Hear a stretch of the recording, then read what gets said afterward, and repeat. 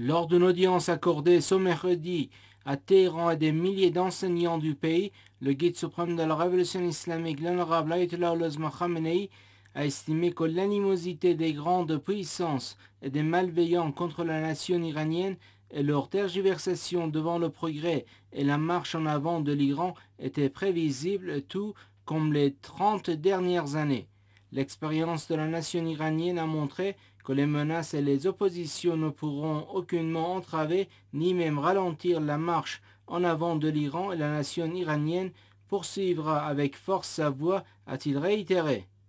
Le guide suprême de la révolution islamique a constaté que la conjoncture actuelle du monde était moralement extrêmement mauvaise. Si la nation iranienne accède à la véritable place qu'elle mérite, elle pourra déterminer le destin du monde de l'islam et par conséquent préparer le terrain au changement de destin et de la bonne actuelle du monde, a-t-il ajouté.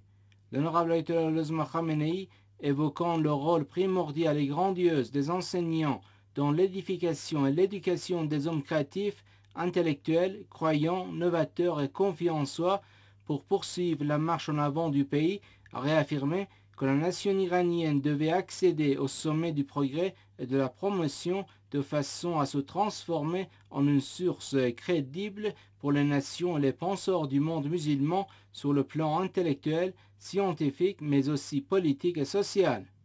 Cela relève de la responsabilité historique de la nation iranienne, a-t-il indiqué, en commémorant le souvenir du professeur martyr Morteza Motahari la journée des professeurs en Iran, le guide suprême de la révolution islamique a qualifié le martyr Motahari de professeur complet et d'un grand esprit de responsabilité.